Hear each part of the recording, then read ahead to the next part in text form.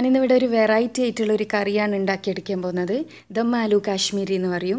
ഇതിപ്പോൾ നമുക്ക് ഗസ്റ്റ് എല്ലാം വരുന്നവരെല്ലാം സെർവ് ചെയ്യാൻ പറ്റിയ നല്ല ടേസ്റ്റുള്ള ഒരു കറിയായിരിക്കും. നമ്മളൊരു ബട്ടർ ചിക്കന്റെ ആ ഒരു ലെവലിലേക്കെല്ലാം പോകുന്ന ഒരു കറിയാണ്. പിന്നെ ഇതിനൊരു ഗുണം എന്താണെന്ന് വെച്ചാൽ നമ്മളെ വീട്ടിൽ ചിക്കന് മട്ടന് ബീഫ് അങ്ങനെയുള്ള സാധനങ്ങളൊന്നും ഇല്ലാത്തരും അതെല്ലാം കൂട്ടി മടുക്കുന്നേരവും ഒരു വെറൈറ്റി ആയിട്ടുള്ള ഒരു വെജിറ്റബിൾ കറി അതായത് ഒരു ബട്ടർ ചിക്കൻ ടേസ്റ്റിലേക്കെല്ലാം വരുന്ന ഒരു വെജിറ്റബിൾ കറിയായിട്ട് നമുക്കിത് ഗസ്റ്റിനെ വരെ സെർവ് ചെയ്യാൻ പറ്റും. ഇത് കുറച്ച് കൂടുതൽ സാധനങ്ങളുണ്ട്. എന്നാലും പെട്ടെന്ന് ഉണ്ടാക്കിയെടുക്കാൻ പറ്റും. എങ്ങനെ ഉണ്ടാക്കിയെടുക്കാമെന്ന് നമുക്ക് നോക്കാം. മുളക് പൊടി വേണം. ഒരു അര കപ്പോളം അണ്ടിപ്പരിപ്പ് വേണം. പിന്നെ ഇത് ഉണക്കമുളക് അരച്ചെടുത്തതാണ്. ചുവന്ന ഉണക്കമുളക് കസൂരി മെത്തി വേണം. തൈര് വേണം. ഗരം മസാല ബട്ടർ പിന്നെ നമ്മളെ മെയിൻ ഇൻഗ്രീഡിയന്റായ പൊട്ടാറ്റോ. അത് മീഡിയം സൈസിൽ കട്ട് ചെയ്തെടുക്കണം. പിന്നെ ഉപ്പ് വലിയൊരു സവാള മീഡിയം സൈസുള്ള ഒരു തക്കാളി അരക്കപ്പോളം മല്ലിയില രണ്ട് പച്ചമുളക്.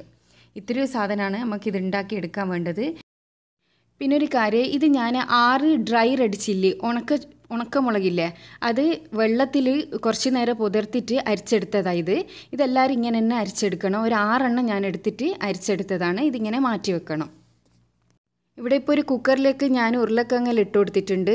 അതൊന്ന് വേവിച്ചെടുക്കാൻ വേണ്ടിയിട്ടാണ്. ആവശ്യത്തിനുള്ള ഉപ്പും കുറച്ച് വെള്ളം ഒഴിച്ചതിന് ശേഷം ഒരൊറ്റ വിസിലിൽ ഇതൊന്ന് വേവിച്ചെടുക്കണം. അധികം വെന്ത് പോകാൻ പാടില്ല. ഇത് വെന്ത് ഉടഞ്ഞ പോകാണ്ട് കിട്ടണം. അപ്പോൾ ഒറ്റ വിസിൽ മതി ഉരുളക്കിഴങ്ങിനെ ഞാനിപ്പോൾ ഇവിടെ വേവിച്ചെടുത്തിട്ടുണ്ട്.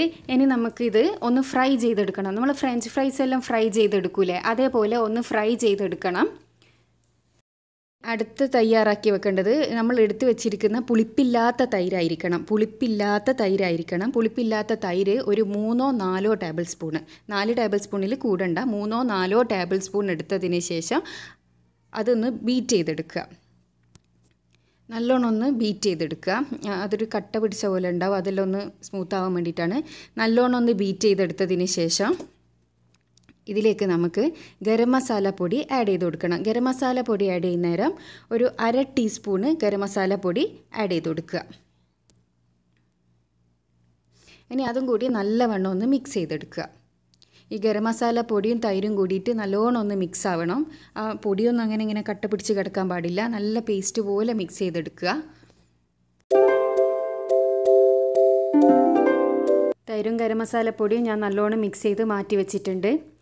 ഇനി ഒരു പാൻ അടുപ്പിലേക്ക് വെച്ചിട്ട് അതിൽ നമുക്ക് ആ പൊട്ടറ്റോ പൊരിക്കാൻ ആവശ്യത്തിനുള്ള ഓയിൽ ഒഴിച്ച് കൊടുക്കുക ഒരു അഞ്ച് ടേബിൾ സ്പൂണോളം ഓയിൽ ഒഴിച്ചാൽ മതി.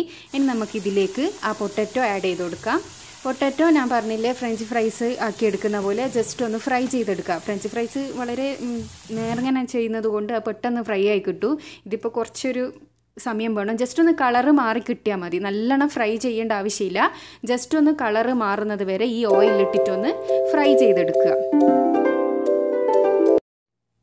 ഇവിടെ ഇപ്പോൾ നമ്മുടെ പൊട്ടറ്റോ ചെറുങ്ങനെ കളറ് മാറി വന്നിട്ടുണ്ട്. നിങ്ങൾക്ക് ഇപ്പോൾ കാണാൻ പറ്റൂ. ഈ ഒരു ഇത് സമയമാകുന്നേരം ഒരു അര ടീസ്പൂണ് മുളക് പൊടി ഇതിലേക്ക് ആഡ് ചെയ്ത് കൊടുക്കണം. അര ടീസ്പൂണ് മുളക് പൊടി ഇട്ടിട്ട് നല്ലവണ്ണം ഒന്ന് മിക്സ് ചെയ്തെടുക്കുക. പിന്നെ വേറൊരു കാര്യം എന്താണെന്ന് വെച്ചാൽ ഈ ഓയിൽ നമുക്ക് ഇനി എന്തെങ്കിലും കറിക്ക് വേണ്ടി ഉപയോഗിക്കാൻ മാത്രമേ പറ്റുള്ളൂ. അതുകൊണ്ട് നമ്മൾ പൊട്ടറ്റോ ഫ്രൈ ചെയ്തെടുക്കുമ്പോൾ അതിനനുസരിച്ചിട്ട് ഓയിൽ എടുക്കുക. പൊട്ടറ്റോ ഫ്രൈ ചെയ്ത് കിട്ടുകയും ചെയ്യണം. എന്നാൽ ഒരുപാട് ഓയിൽ എടുത്ത് വേസ്റ്റ് ആക്കുകയും ചെയ്യേണ്ട. അപ്പോൾ അതിനനുസരിച്ചിട്ട് നിങ്ങൾ ഓയിൽ എടുക്കാൻ ശ്രമിക്കുക. ഇത് വേറെ എന്തെങ്കിലും കറിക്ക് മാത്രമേ ഇനി ഉപയോഗിക്കാൻ പറ്റൂ. ഇനി ഇത് നമുക്കൊരു പ്ലേറ്റിലേക്ക് മാറ്റിയെടുക്കുക ഒരു രണ്ട് സെക്കൻഡ് ഈ മുളക് പൊടിയിൽ കിടന്നായതിന് ശേഷം. തയ്യാറാക്കി വെക്കേണ്ടതെല്ലാം തയ്യാറാക്കി വെച്ച്. ഇനിയിപ്പോൾ നമുക്ക് കറി എങ്ങനെ ഉണ്ടാക്കിയെടുക്കാൻ നോക്കാം. ഇതിലേക്ക് ഒരു രണ്ട് ടേബിൾ സ്പൂണോളം ബട്ടർ ഒഴിച്ചു കൊടുക്കുക. രണ്ട് ടേബിൾ സ്പൂണോളം ബട്ടർ വേണം. അതിനുശേഷം നമുക്ക് നമ്മൾ അരിഞ്ഞു വെച്ചിരിക്കുന്ന എല്ലാ പച്ചക്കറികളും ഇതിലേക്ക് ഇടുക. തക്കാളി സവാള പച്ചമുളക്. ഇതിട്ടിട്ട് ഈ തക്കാളിയും സവാളയും പച്ചമുളകും ഇട്ടിട്ട് ജസ്റ്റ് ഒന്ന് വാട്ടിയെടുക്കുക. അതായത് നല്ലോണം അങ്ങ് ബ്രൗൺ കളർ ആവുമൊന്നും ചെയ്യേണ്ട. ഇതെല്ലാം ഒന്ന് സോഫ്റ്റ് ആയി കിട്ടിയാൽ മതി. കാരണം ഇത് നമുക്ക് അരിച്ചെടുക്കാനുള്ളതാണ്. മിക്സിയുടെ ജാറിലിട്ടിട്ട് അരിച്ചെടുക്കാനുള്ളതാണ്.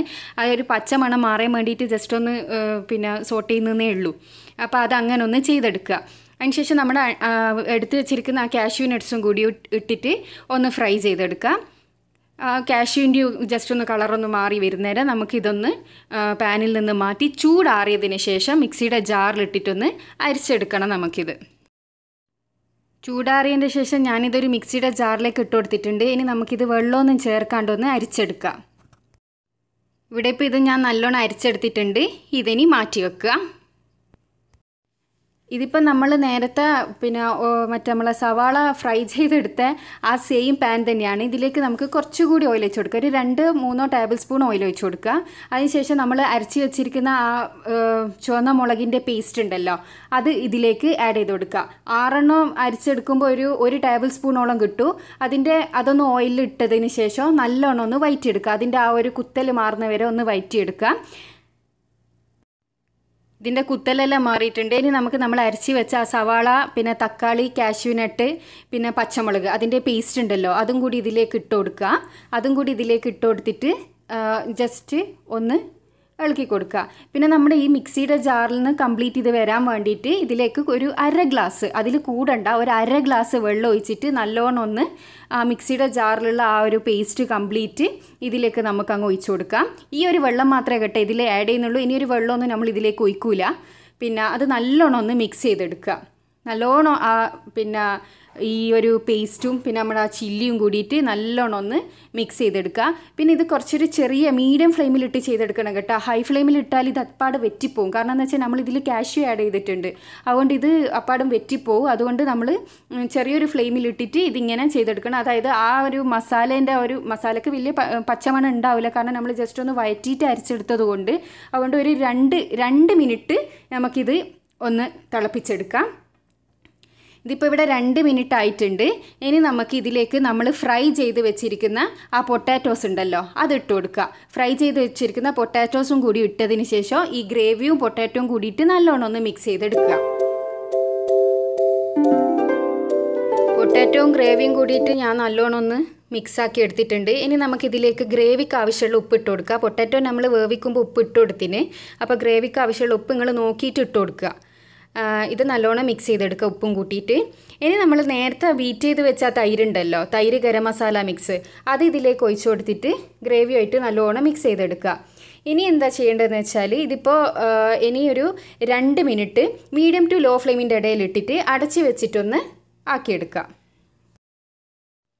രണ്ട് മിനിറ്റിന് ശേഷം ഞാൻ തുറന്നു നോക്കിയിട്ടുണ്ട്. ഇത് നല്ലോണം ഇവിടെ റെഡി ആയിട്ടുണ്ട്. ഇനി ഇത് അധികം കുറുക്കി എടുക്കണ്ട കാരണം ക്യാഷ് ഇട്ടത് കൊണ്ട് ഇത് പെട്ടെന്ന് തേച്ചും ഗ്രേവി വറ്റിപ്പോവും ഇനി ഇതിലേക്ക് നമുക്ക് ഒരു പിടിയോളം കസൂരി മെത്തി ഇട്ട് കൊടുക്കുക. കൈകൊണ്ട് നല്ലോണം പൊടിച്ചിട്ട് കൊടുക്കണം. നല്ല ഫ്ലേവർ കിട്ടൂ.